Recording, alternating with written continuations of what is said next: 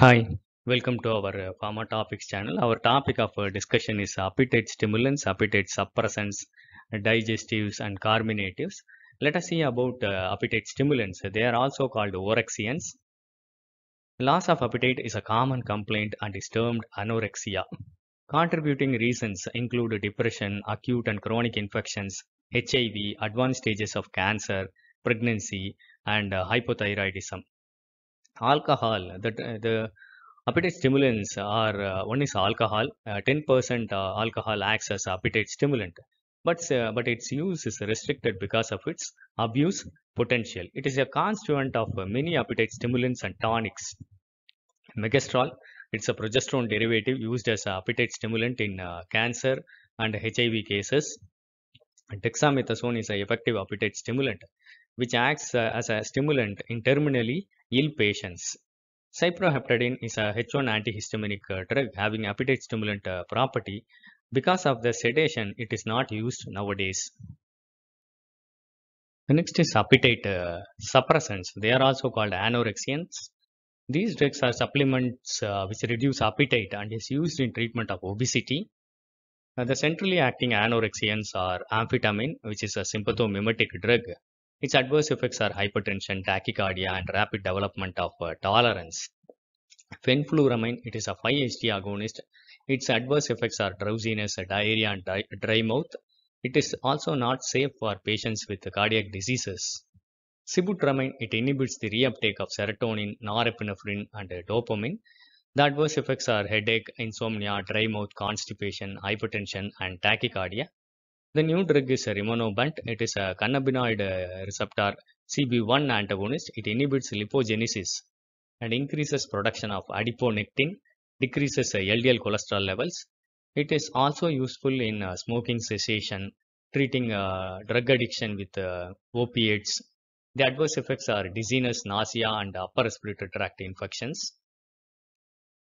The peripherally acting anorexiants are bulk anorexiants uh, such as uh, methyl cellulose they increase the bulk in the diet and also increase the feeling of satiety. Non-absorbable uh, fat substitutes such as olestra it is a mixture of sucrose and fatty ester which is neither digested nor absorbed. Orlistat it suppresses pancreatic and other lipases and prevents the degradation of the dietary fat. It also decreases total cholesterol and ldl cholesterol levels let us see about uh, digestants. Digestants promote the digestion of food yeah, used when the enzymes of the GIT are deficient. The routine use in tonics and appetite stimulants, improving mixtures, is irrational. One is uh, pepsin. It is prepared from the gastric mucosa of uh, pigs, cattle, or sheep. It is useful in achylia, a condition with the gastric acid secretion, as well as pepsin secretion are compromised uh, and also seen in uh, stomach cancer and pernicious anemia. And next is uh, papain. It is a proteolytic enzyme obtained from raw papaya. And pancreatin obtained from pig pancreas contains amylase, trypsin and lipase. It is indicated for chronic pancreatitis or other exocrine pancreatic deficiency states. New enzymes are diastase and takadiastase. These are the enzymes obtained from the fungus Aspergillus oryzae, useful in patients with pancreatic deficiency.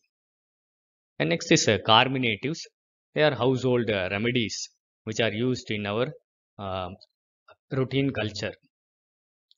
So carminatives are substances used to relieve gaseous distension in stomach, improve the digestion and the, in the intestine after meals. Asafoetida, camphor, clove, coriander, cinnamon, ginger, fennel, anise and cardamom seeds they irritate the gastric mucosa and cause expulsion of gas. So uh, the widely used ones are camphor, anise oil, cardamom oil, and other uh, carminatives. Uh, I hope it's a short nutshell information of the anorexiants, appetite stimulants, digestants, and carminatives. I hope uh, this video will be useful for you. Thank you for listening. Happy learning. Kindly share this to more of your friends. Kindly subscribe to our uh, Pharma Topics channel for further updates. If you like this video, kindly press the like button. Thank you.